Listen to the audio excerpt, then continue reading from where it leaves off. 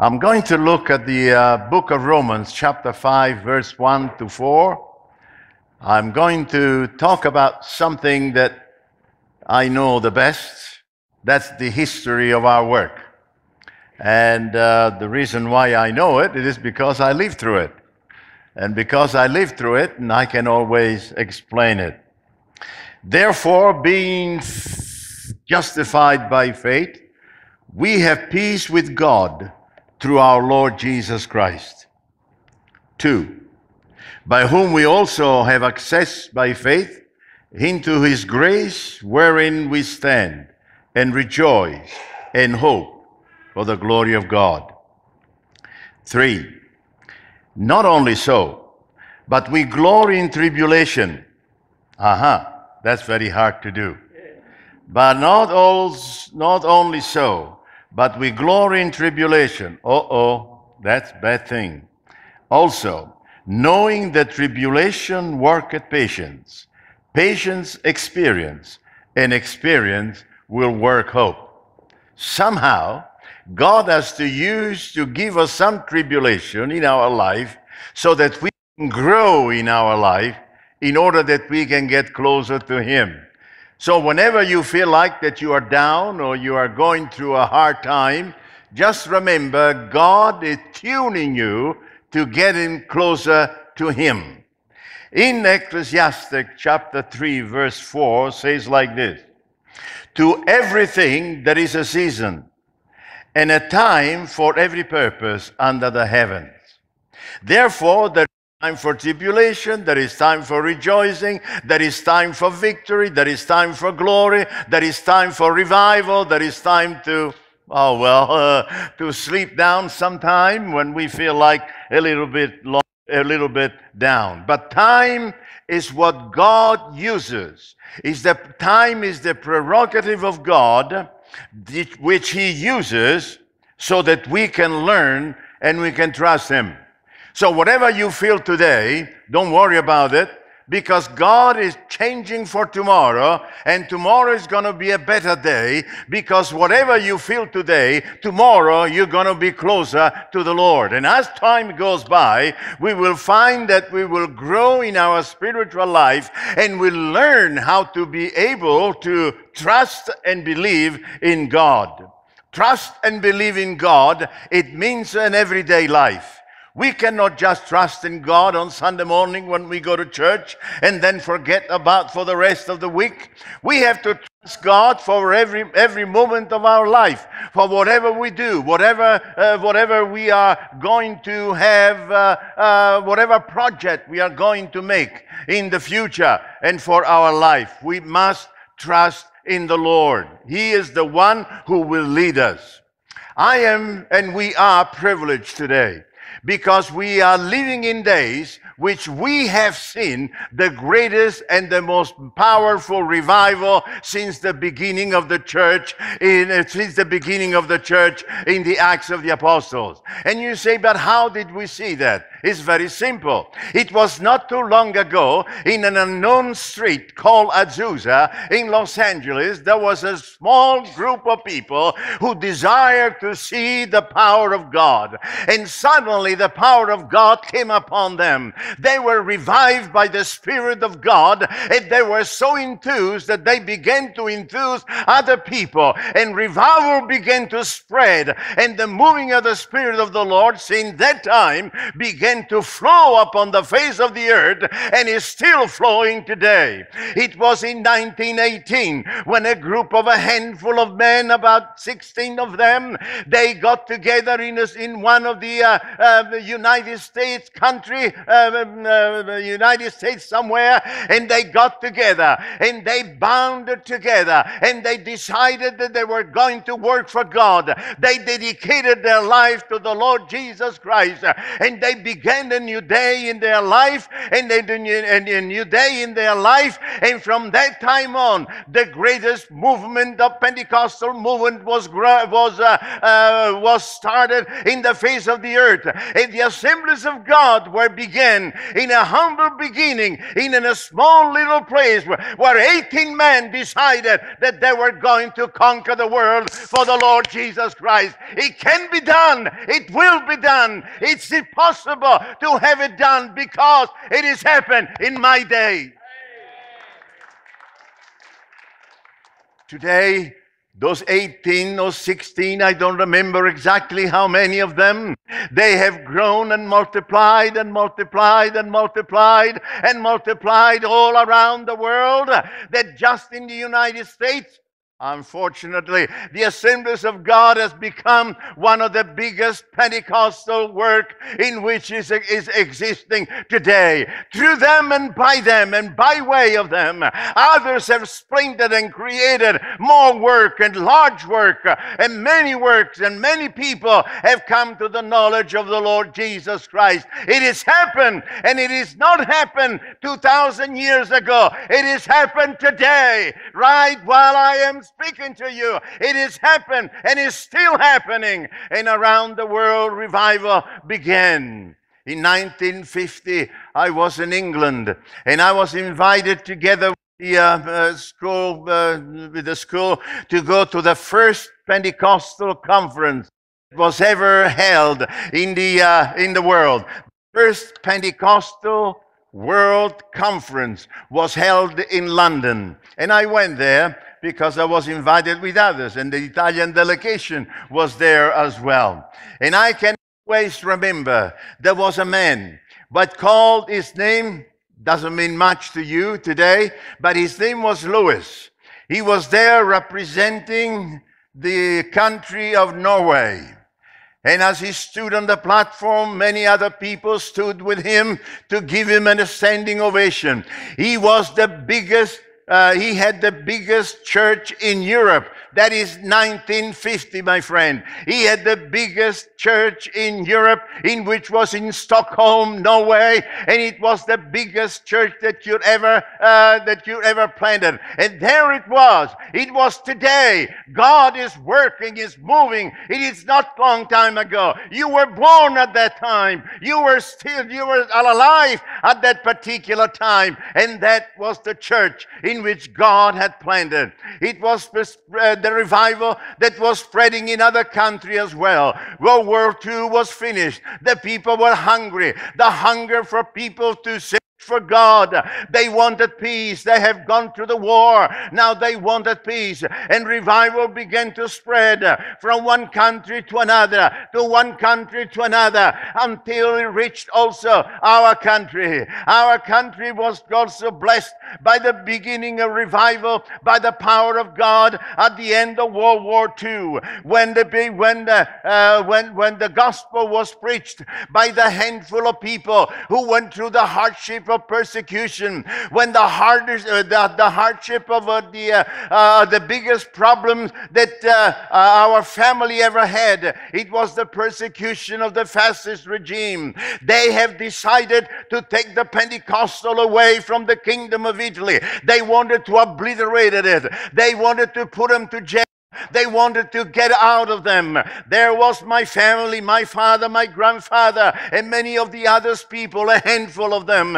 They went underground. They began to worship somewhere in somewhere in the caves, uh, going for prayer for the Holy Spirit in caves underground. Pray, praying under the tree, in the bushes somewhere to have a to, to have a meeting. There was any place that any place would be good as long as would be far away from the city and away from the, uh, uh, from the, from the police from the police. But God was blessing them. The power of God was with them. God was sustaining them through the hardship of persecution. He was sustaining them so that when they came out, even through tribulation. They went through the hardship of tribulation and they were strengthened by the power and the presence of God and the Spirit of God that when, that when freedom came to the country, they began to blast all over the place, uh, and the people began to receive the gospel, and churches were brought up from one place to another place, to another place, and another place. It is the power of God that makes the church, and not the power of man. I found that many of the people that were used by God in the old days, they were simple people. They were not people of high educational standard. Most of them, there were people that hardly could sign their own name. People that just, just loved the Lord. The first person that ever came to our country in Italy is a name, a man by the name of James, a migrant in the United States, in the city of Chicago. And one day uh, he was a shoemaker. Shoes in the little shop, in the little corner. The Lord came to him and he said, James, I want you to go to Europe. I want you to go to your own country and I want you to bring the gospel, for the country is in darkness. And he said, Lord, how can I go? I, first of all, I don't, I'm nobody. I don't have the money, and I don't have the means, even mentally, to be able to, to do such a thing. And the Lord said, But I want you to go. I have chosen you. So after a while, he decided to accept the invitation that God had given him. He had no money. He had no way of supporting himself. And so he, the Lord said, I want you to go down to the pier and wait for the ticket to come. So he went to the pier, he got in line. I don't know if it's ever happened to you, it's happened to me once. Tell you what, the nerves are really, really going. No matter how spiritual you are, the nerves really get on you. there he was, waiting for getting the ticket on a boat in order to go to Italy in his own country. And he was waiting and nothing happened. Keep waiting and nothing happened. And he kept going closer and closer to the teller where he had to buy the ticket and he still didn't have the money. Sometimes the Lord pushes you right to the edge of things. I wish He would do things my way sometimes. Ah, I will make Him prepare things oh, years ahead so that I don't have to worry. But He doesn't do that. You see, He waits until the last minute. And so He was there, two people in front of Him. He put his hands in his pocket. He had no money. He said, What am I going to tell the teller now? I need a ticket. And he said, I don't have the money. So the last, another man, uh, another person went by, and he was the second in line. When a gentleman came by, he get put an envelope in his hand, and he said, "Are you James?" He said, "Yes." The Lord told me to give you this, and he left. Not even time to say thank you. Nothing. He just left and disappeared. He opened up the he opened up the envelope there was enough money for the ticket and some spare too. Because when God blesses you, He blesses you in fill, a full cup and overflowing. So he had enough money to be able to go to go to Europe. So he said, "Thank God." He went closer to the ticket, uh, to the to the teller. He got the ticket, and he got on a boat and he went to Europe. Now he didn't have any place to go. And he said, Where am I going? I don't even have relatives here. They're all dead. Where am I going? Who am I going to see? So, right there in the boat, he had to get out of the boat and go somewhere. And so the Lord said, Well, go down to the park and sit down. That's a good thing. I wish the Lord would tell me that more often. Go to the park and sit down and just watch the birds go by. And so he went and he sat down over there. And while he was sitting for about 20 minutes or so, somebody came and he said, Are you James? Yes. I want you to come to my home tonight. I want you to be a guest in my place. And so he went. And that was the first, the beginning of his work. Then he began, he began to talk about the Lord, and a church was born. A group of people were born in that home. After that, he went to another town. And the Lord said, Go to that particular town. He went over there. It was August, very hot in Europe in August, and it's time for harvest. And he didn't know where to go and who to go because he didn't know anybody. That's the usual thing.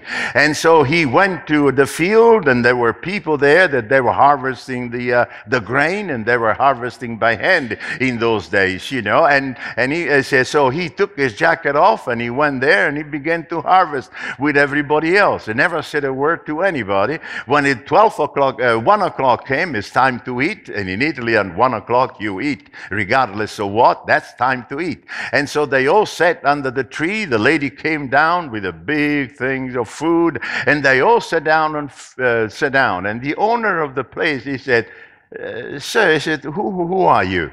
And he said, Oh, my name is James. He said, uh, Well, thank you for helping us. I mean, we, you know, we need all kind of help. But how come you come to help us? Oh, he said, I'm glad you asked me. Jesus sent me. Jesus sent me. And he told me to come and help you because he knew that you needed help. And then he began to tell him about the, the grace of God and the power of God and the glory of God and so on and so on. That by the time the night was over, that family gave their heart to the Lord, and then couple of more family gave their heart to the Lord, and he left there and he went to another place. Where did he go? Well, another place. The Lord leads you and makes you go. Now, here is a man, I'm telling you, here is a man who could hardly write his name under, uh, sign his name anywhere. He never went to school, he never done anything, but he knew how to get in touch with God. My friend, it is time, if we want to see a revival, that we learn how to get in touch with God. We learn how to get in touch with God. I know that we are going to the prayer meeting every Tuesday night and we are going to pray, and it's a great time in which we have. Lately, that we are getting a little bit tired and uh, and we pray we stay there but we sit down and and seems that uh, there is no longer that zeal that, uh, that that was in the beginning. My friend it is time that we revive ourselves and we let the spirit of god come upon our life so that we can really do something for god. We will never do anything for god as long as we sit back and we do nothing. We must let the holy spirit lead lead us for the glory of God and for the power of God. In 1920, in 1928, uh, uh, in 1928, finally the uh, small groups, about uh, about uh, 10 or 20 groups that this man have left uh, all all over the country, they began to come together and they formed the first Pentecostal church in now that church started in the beginning, and then the, uh, when the fascist regime uh, realized that uh, uh, there was a group called Pentecostals, which were not the traditional church, and therefore they were not exactly what they would have liked to have. They um, uh, they uh, they got together and they uh, uh came out with a law which was strictly against the Pentecostal people persecution started and so on and so on. But those things did not stop the people from what they had to do for the kingdom of God. Look, what you go through is not important. What you go through is just a time in which it's uh, God is training us in order that we can close a little, we can a little bit closer before the presence of God. In 1945 was the end of World War II. There was a new freedom different kind of persecution, but the persecution was still there. Not uh, at the point where you go to jail, but it was there. Let me tell you something. I believe in God's timing. I remember the time I was, oh, anyway, somewhere around there. It makes no difference, really, is it? Uh, anyway, somewhere around there. I remember the time where the police have raided all the places where our brothers and sisters were, and they took everybody to jail. Now, my mother was there too. My uncle almost died in jail, but uh, I'm not talking about them now. I'm talking about what happened at this particular time.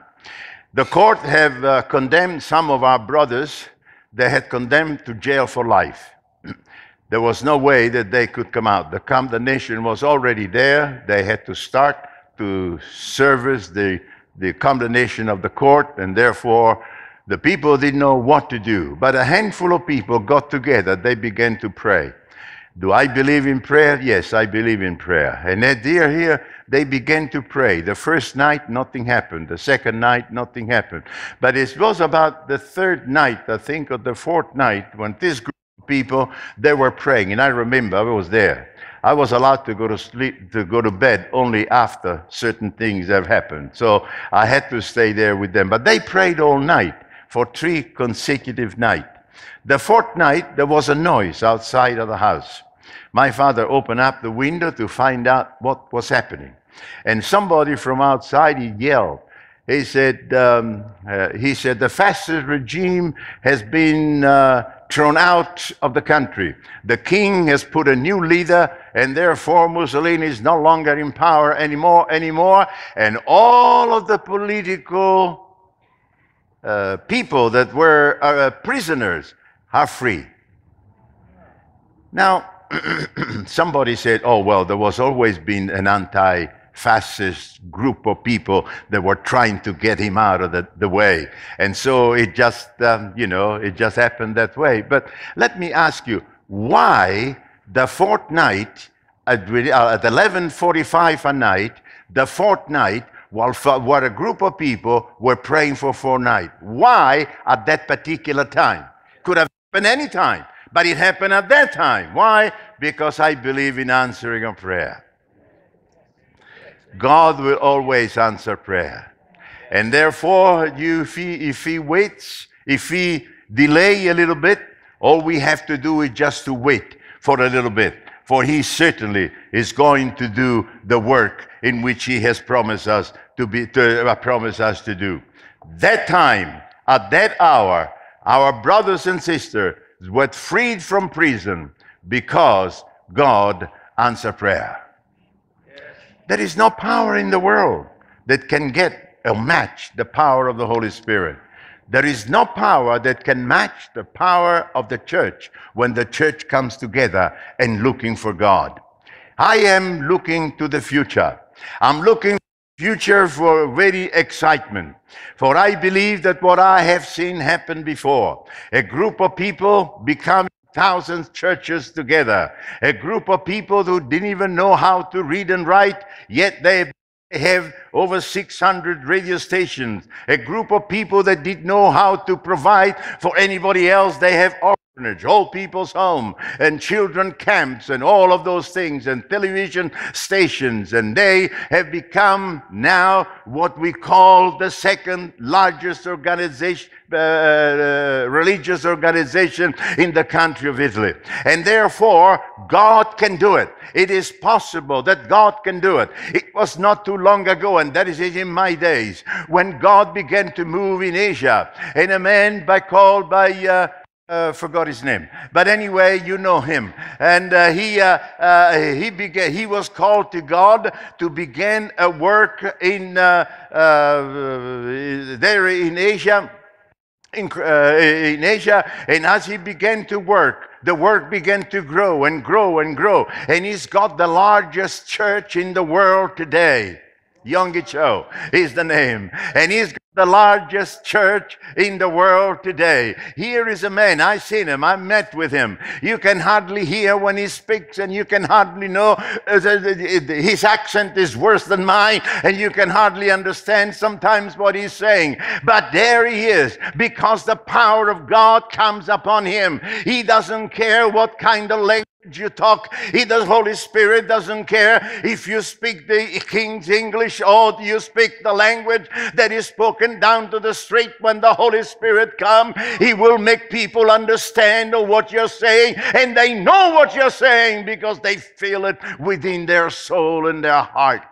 There it is, the largest church church in the world. I've been told that you go to Singapore, that is one some of the largest churches today, churches which are large, a thousand 2,000 people in, the, in, in, in Singapore itself and all over throughout Asia. My friend, it's time for Australia to get the visitation of God. And the reason why I am excited is because I believe that now is the time for this country, what we call the country of the Holy Spirit. It is the time that the Holy Spirit start moving. And I know who knows, maybe God has chosen this group of people in order to make that power powerful move of the Holy Spirit come upon the country of Australia. Maybe God wants to use you and you and you. Maybe God wants to use you. Maybe God wants to use you or me, whoever too old to do anything now, but I'm looking for the newer generation, which they're coming in with the excitement of God and the power of the Holy Spirit. I'm looking for the new musicians uh, who are coming to preach and to take uh, and to, and to sing songs uh, which will be so filled with the power and the anointing of the Holy Spirit. I'm looking for the day when the people will come in from that room. They will come with problems and they will go home freed of all the problems that they have. I'm looking for the day when the people will come sick and with a wheelchair from that particular uh, door. And when they come, they will leave the wheelchair and go back home. I have seen it happen before, and it can happen again and again and again until Jesus comes, and it will happen. Because that is our heritage. That is the heritage of the Pentecostal work. That is the heritage of the people who are bounding themselves together and they believe together and they know each other and they seek God and God will move in their heart and in their life and through their life and heart. It is not how much school you have. It is that I'm not against school, by the way. I mean, I've done four years of uni myself. I know what it, it is. But I'm not talking about that. I'm talking it when God wants to move you, He moves you, no matter how you are, no matter what you are. And I'm waiting for a great day, for the great day of the Holy Spirit to move. You know, you can come here with problems and you go home without. You can come here sick and you can go home without sickness anymore. I'm expecting one of these days that my wife will walk. You know how she walks?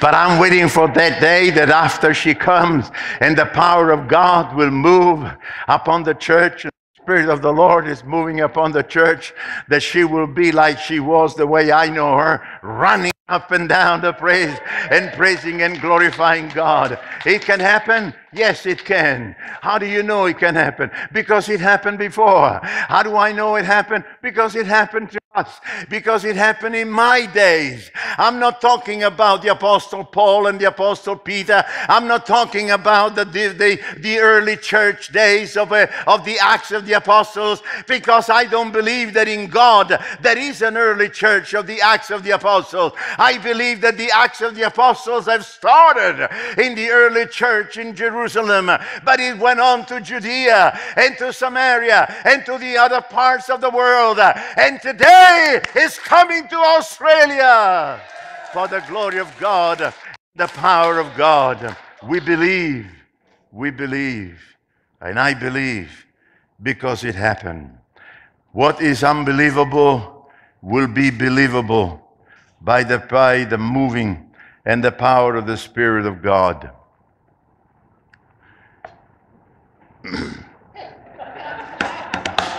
I get another couple of pages, but I don't think I'll let you can take it. Uh, well, I can't take it. Uh, we leave it there for some, some other time. But I want you to know that he was at the end of World War II when the work in Italy was growing so fast. And I remember the leaders in the office in Rome they would come together and say, We got so many calls. Who are we going to send there? Who can go there and take care of these people? One pastor used to have three, four churches, five churches. It had to be one, you know, you visit over here, you hurry up. I've been down there in some, some of the places where in the morning at 8 o'clock you preach in one place, at 10 o'clock you preach in another place, then back into your motorcycle. By two o'clock, you're preaching somewhere else, and then back in the motorcycle, you go somewhere else, and by four o'clock, you're preaching somewhere else, and then back on the motorcycle, and you go somewhere else, and by eight o'clock at night, you're preaching somewhere else. Now, I'm telling you, that is hard work. But in those days, I could take it. I was as young as you. See, I could take it. Now, well, I wouldn't, first of all, I wouldn't go by motorcycle. Uh, the reason is the doctors told me that the cold air against the sweat after you finish preaching is not good for you. It gives you pneumonia. So I have to listen to him because I'm old enough, you know. Now I can listen. So I wouldn't go by motorcycle anymore. Now I need a car. Yes, yes. I need a car where I can, and I also need a driver so I can relax while I'm going up to those places. Those were the days. Believe me, those were the days. And those were the days when the Lord came to me and He called me to the ministry. How did He call me? Not because somebody excited me. He called me because He came, visited me, called me by name, and He said, I want to talk to you. That was how I was 15, 16. The Lord said to me, I want you to go into the ministry. I want you to serve me. And I said, Nah.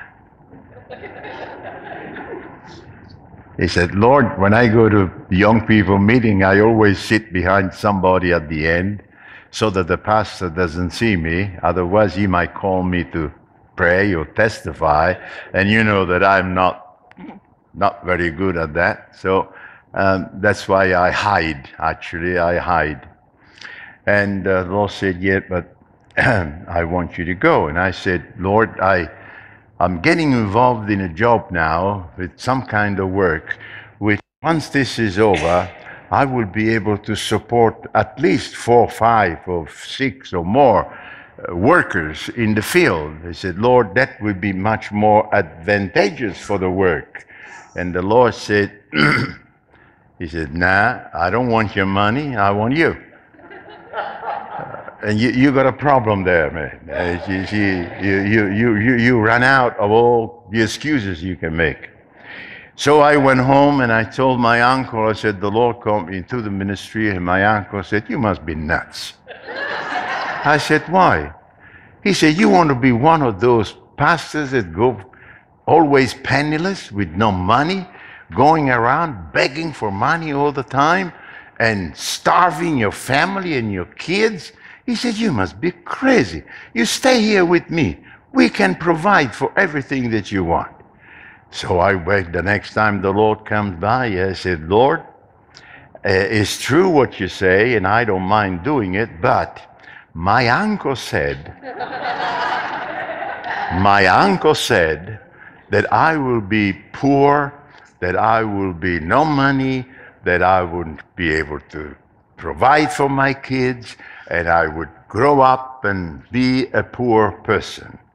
And I said, Lord, I can't do that to the family. I said, I just can't do it. Can we do, make some kind of another deal? Do you know that the Lord is patient? And do you know that the Lord, if you if he start talking to you, he will talk to you until he solves the situation.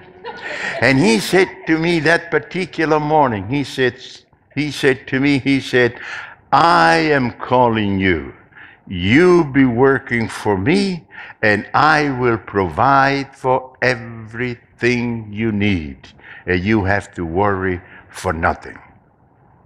How old am I? I'm 82 years old. I went around the world eight, nine times. I don't know. I, I ministered in so many countries that I don't even remember them anymore. But I have spiritual sons that they speak all kind of languages that if they talk to me, I don't even know what they're talking about. But they are there, they are saved, filled with the Holy Spirit. And I've been around in so many places and so and, and, and so on. And the Lord always provide. I have never asked for a penny to one person. How do you do it? Well, I don't know. I have no idea. But the first time that I had uh, was in the in the hardship, it was when I decided that before I went to the ministry, I would go to Bible college for a couple of years and then start into the ministry. That was the way that everybody was doing it. So I had to do the way everybody else was doing it. In those days, the church was supposed to pay for the trip. There were four of us for trip of four of us to go to England for the Bible college, pay for the trip. The night, two nights before, the, uh, two nights before, I get a call from the superintendent of the Assemblies of God, and he said, Joseph, what? He said, um, the church has decided he's not going to pay for anybody. Ah, I said, it's okay. What do you mean it's okay? It's okay. I wasn't expecting anything from anybody anyway. So it's okay. So he said, Do you have the money? I said, Nah, but I'll have it by then. he looked at me a little bit, you know. He was the superintendent of the assemblies of God, but he's like my father. That's why I could talk to him like that. And, and, and he, he, he looked at me like, say, it's just like you, you know? Oh, wait, you never think serious about anything. But I was serious. I, I didn't have the money. What do you want me to do? Go and get a night job so I can get the money? I mean, I wouldn't do that. It wouldn't be the Lord's will for me to do that. And so I didn't do it. The morning came, 10 o'clock, the train was leaving the station. Would you be surprised that this is why I, I, I don't like it? That this is what happened. Would you be surprised if I tell you that it was 9.30 before I had the money in my pocket to buy the ticket? Now, I, it's a 10 to 10. We were leaving. At 9.30, I get the money. Up to then, I didn't have a penny. This is why I wish the Lord would listen to me sometime. And He does things a different way. Would have been much better if He would have provided the money a week before. I had nothing to worry, nothing to problem, no problem. I didn't have to run anywhere. I had the money in my pocket. And when everybody was asking me, You got the money? I said, Yep, I got it in my pocket. That's it. No worry, no problem. But it didn't happen that way. And I found in my years that it doesn't happen that way when you are with God. He does it His own way doesn't listen to me.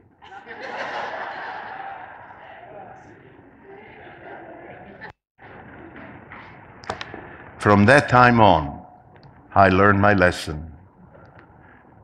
And whatever the Lord wants me to do something, He'll provide the money first. And we had a saying with my wife. You know, we, we went around quite different places. We went to um, we went to Ukraine and we went to um, at one time. We went to Spain. And of course, we never ask money for anybody. So our saying is this Are we willing to go? Yes.